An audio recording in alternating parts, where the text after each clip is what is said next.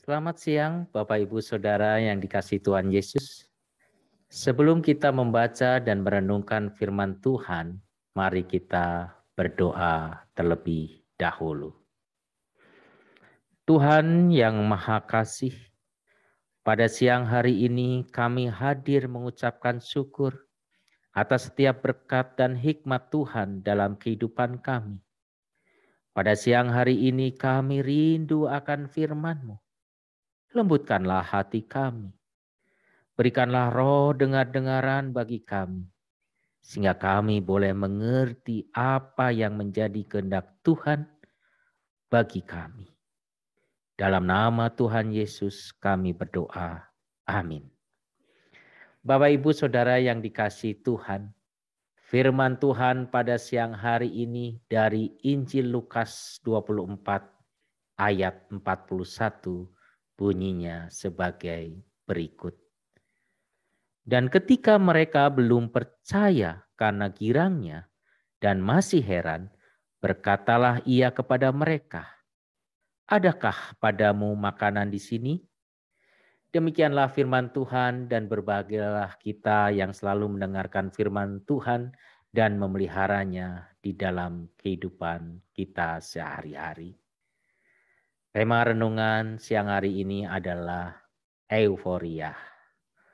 Bapak, ibu, saudara yang dikasih Tuhan, kisah atau cerita euforia yang paling populer dan tidak terlalu mudah dilupakan adalah euforia saat siswa atau pelajar yang biasanya dilakukan pelajar setingkat SMA Sesaat selesai diumumkan kelulusan sekolah, euforia nampak dalam kegiatan mencoret-coret baju seragam dengan tanda tangan, mewarnai rambut dengan cat atau perwarna rambut, bahkan tidak jarang mereka bergerombol pergi berkeliling kota sambil bersorak-sorai. Sehingga membuat gangguan di jalan raya merusak suasana kota, dan bahkan fasilitas umum. Bapak Ibu yang dikasih Tuhan, arti euforia di KBBI adalah perasaan nyaman atau perasaan gembira yang berlebihan. Ketika kita atau para siswa dalam cerita di atas menerima kegembiraan, kabar gembira kesenangan, kabar sukacita yang berlanjut dengan respon atau ekspresi sukacita sama sekali bukan tindakan yang salah. Hanya ketika ekspresi atau respon yang berlebihan itulah yang membedakan kegembiraan atau sukacita biasa dengan euforia. Rupanya sikap berlebihan dalam ekspresi apa pun akan menimbulkan dampak yang tidak baik. Selain bagi diri sendiri, membuat tidak terkendali dan melupakan sesuatu yang esensial dan hakiki. Juga bisa berdampak mengganggu bagi kondisi lingkungan atau kehidupan orang lain. Bapak, Ibu, Saudara yang dikasih Tuhan. Pada hari ini kita warga gereja khususnya warga GKI Cimahi baru saja lepas dari suasana perjalanan liturgis peringatan Paskah. Paskah adalah berita sukacita besar, berita kemenangan. Paskah menjadi pusat kehidupan iman bagi kita semua. Tidak luput dari pengaruh gejala euforia pada masa itu. Ada sikap euforia dari beberapa murid Tuhan Yesus saat itu.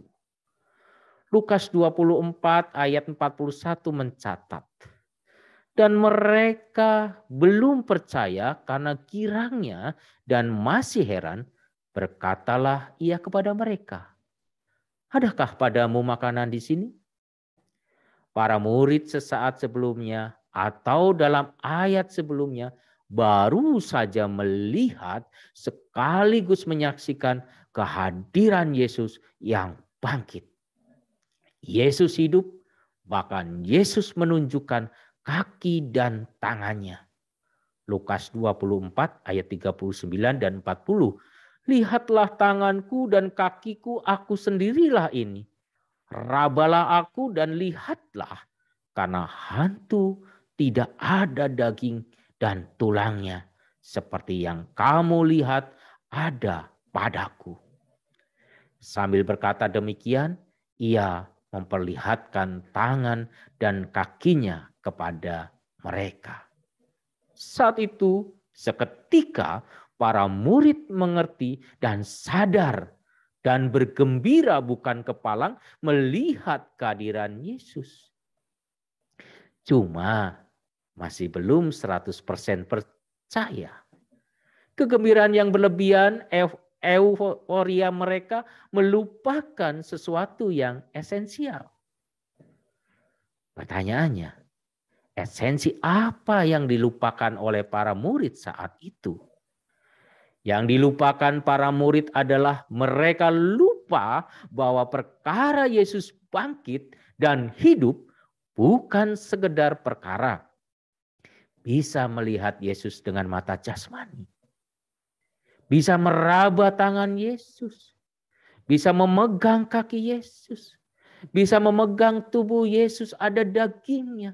Bukan saja sorak-sorai. Bapak ibu saudara yang dikasih Tuhan. Adakah padamu makanan di sini? Pertanyaan Yesus ini adalah bisa dikatakan sebagai upaya Yesus memutus signal euforia kebangkitannya yang ada dalam hati para murid saat itu.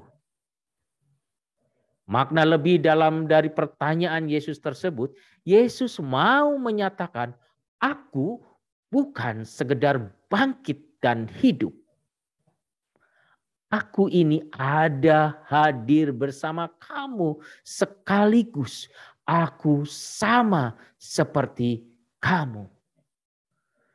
Tuhan Yesus berharap kepada para murid dan kita saat ini bahwa kebangkitannya dirasakan dan imani secara utuh.